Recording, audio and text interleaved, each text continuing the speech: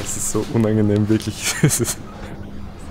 Ihr fragt euch wahrscheinlich, warum ich barfuß in einem Supermarkt bin. Und ehrlich gesagt frage ich mich das auch. Aber lasst mich euch ein paar Sachen erklären, die das Ganze vielleicht ein bisschen weniger so aussehen lassen, als hätte ich jetzt endgültig meinen Verstand verloren. Ich trage gerne Schuhe, die sind meiner Meinung nach eine ziemlich gute Erfindung. Aber als ich letztens wieder mal meine tägliche Runde durchs Internet gedreht habe, bin ich über einen Artikel gestolpert. In dem ging es ums Barfußlaufen und das soll anscheinend super gesund sein. Es soll das Immunsystem stärken und Sehnen und Bänder trainieren, doch dieser Artikel behauptete noch etwas. Und zwar soll Barfußlaufen zu einer anderen Gangart führen, die anscheinend besser ist als die, die ich und du sonst normalerweise immer benutzen. Und deshalb habe ich beschlossen, für die nächsten sieben Tage einfach keine Schuhe anzuziehen und alles barfuß zu erledigen. Mich interessiert, ob ich mich irgendwie anders fühle und mich interessiert auch, ob der Alltag überhaupt barfuß bewältigbar ist oder ob ich da irgendwelche Probleme bekomme. Der erste Tag war verdammt ungewohnt. Ich bin eigentlich nicht gerne barfuß unterwegs. Ich mag das Gefühl irgendwie nicht. Und die Wohnung ohne Schuhe und Socken zu verlassen, fühlte sich halt einfach wirklich falsch an. Ich war dann kurz draußen unterwegs und habe so ziemlich die abwertendsten Blicke, die man sich nur vorstellen kann, bekommen. Ich meine, ich verstehe es, es war kalt, hat geregnet und ich war ohne Schuhe in einer Großstadt unterwegs,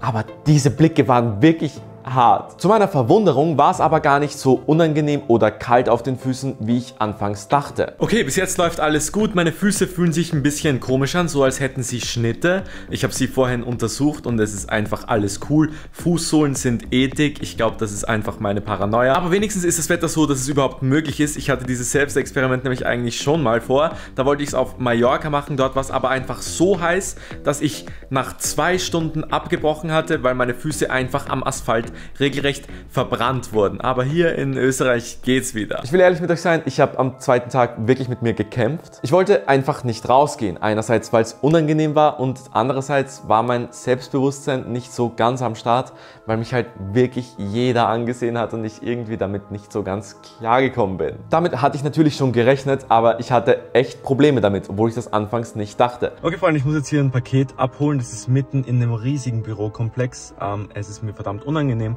weil ich keine Schuhe anhabe. Ich bin ein bisschen nervös. Meine Hand schwitzt extrem. Ich weiß nicht, ob man das sieht, aber ich werde das jetzt durchziehen.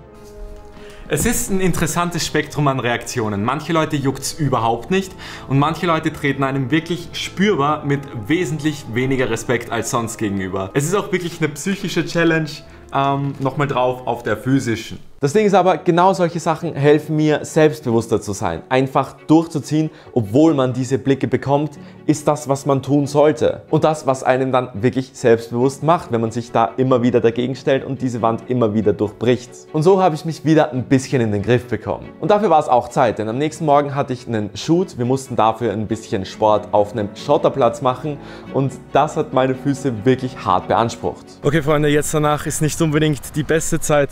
Ähm für meine Fußsohlen. Es fühlt sich richtig heiß an. Es, meine Fußsohlen fühlen sich richtig heiß an. Warum auch immer. Auch ein bisschen taub. Ähm, es war vielleicht etwas zu viel des Guten, aber ich habe äh, die Hoffnung, dass sie dadurch jetzt irgendwie robuster werden oder sonst irgendwas. Ich denke, sie sind heiß, weil die Durchblutung drinnen besser ist, aber es ist auf jeden Fall ein seltsames Gefühl. Ich war definitiv noch nie barfuß ähm, auf so einem Untergrund so lange unterwegs. Können wir kurz festhalten, wie dreckig deine Füße sind? Ich find's, naja, schon. Rate mal, wer die nicht abwischen wird und damit straight in die Wohnung Aber gehen wird. Sicher nicht. Hey, es ist so unangenehm. Jeder schaut mich an, als wäre ich, als wäre ich keine Ahnung was. Einfach so richtig so. Ich bin doch nur barfuß unterwegs, ich tue ja niemandem was. Übrigens, die 360-Grad-Shots, die ihr hier immer seht, habe ich mit der neuen Insta360 One RS gemacht. Denn Insta360 war so nett und hat mir ein paar Kameras zukommen lassen. Die sind absoluter Gamechanger. Das Ganze ist nämlich eine modulare Kamera. Das heißt, es gibt eine Action-Cam-Linse, die super gute Qualität hat, eine 360-Grad-Linse und ein Display-Modul, welches man sich einfach nach Belieben zusammenstecken kann. Das kann also eine Action-Kamera, eine 360-Grad oder eine Vlogging-Kamera sein, je nachdem, was man gerade braucht und dabei passt das Ganze noch einfach in die Hosentasche. Die 360-Grad-Shots kann man ausrichten, nachdem man sie gefilmt hat. Das heißt, man muss sich beim Filmen absolut keinen Stress machen, wie die Perspektive oder sonst irgendwas ist, weil die Kamera einfach alles aufzeichnet und man das einfach bequem im Nachhinein machen kann. Sehr große Empfehlung meinerseits, checkt das unbedingt ab. Ähm, Im ersten Link in der Beschreibung findet ihr die Kamera. Weiter mit dem Video. Aber was soll das Ganze jetzt bezwecken? Nun, die Theorie lautet, dass wenn wir Schuhe tragen, wir mit der Ferse zuerst aufsetzen. Das belastet das Knie, die Hamstrings und den unteren Rücken. Des Weiteren Nachhinein müssen die Sehnen und Bänder und generell die ganze Fußmuskulatur einfach kaum arbeiten. Das ist sozusagen anscheinend der faule Weg der Natur zu gehen. Wenn wir jedoch barfuß laufen, setzen wir automatisch mit dem vorderen oder mit dem mittleren Teil des Fußes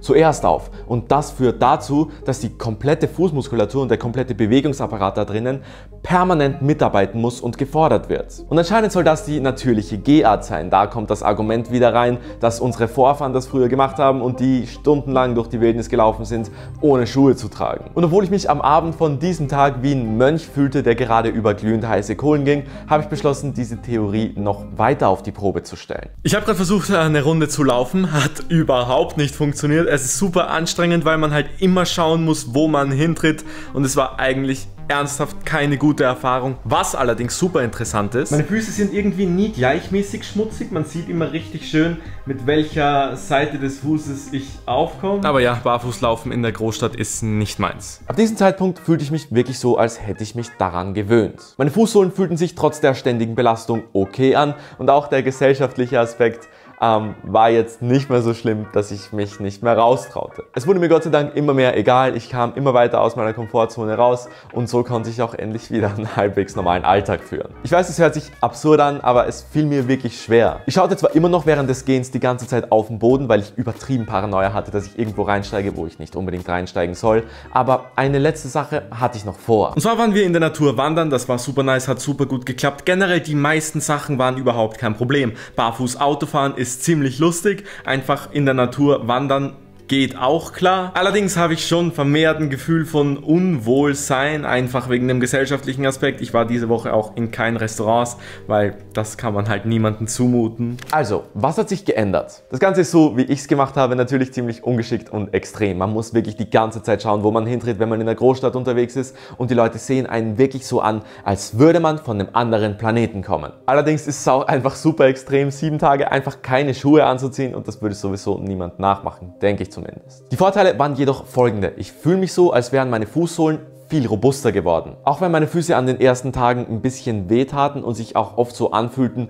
als wären sie aufgeschnitten, dieses Gefühl ging Tag für Tag weiter zurück. Ich bin auch komfortabler damit geworden, einfach barfuß zu sein. Es fühlt sich natürlicher an. Mir ist auch nicht mehr kalt, wenn ich barfuß war, was vorher schon der Fall war. Es fühlte sich auch natürlich an und so, als wäre ich wirklich mit der Natur verbunden, wenn wir jetzt auf diese spirituelle Schiene gehen wollen. Ich konnte auch wirklich merken, dass ich zuerst mit dem vorderen und mittleren Teil des Fußes auftrat und nicht mit der Ferse. Hi, Dominik aus dem Schnitt hier. Ich hatte jetzt Zeit, mir die Clips anzusehen und es ist mir aufgefallen, dass ich, wenn ich barfuß gehe, manchmal diesen Fersengang verwende und manchmal diesen Ballengang. Ich weiß nicht so richtig, warum das ist. Meine Vermutung ist, dass je mehr Paranoia ich habe, in irgendwas reinzusteigen, desto vorsichtiger bin ich und desto wahrscheinlicher ist es, dass ich diesen 10 Ballengang verwende. Aber mir fällt jetzt auf den Clips auf, dass wenn ich mich wohl am Untergrund fühle, ich wieder zu diesem Fersengang tendiere, den ich bei den Schuhen immer habe. Das fand ich interessant zu sehen. Ich war aber definitiv viel mehr in diesem Fersenballengang. Ob meine Fußmuskulatur dadurch wirklich stärker wurde,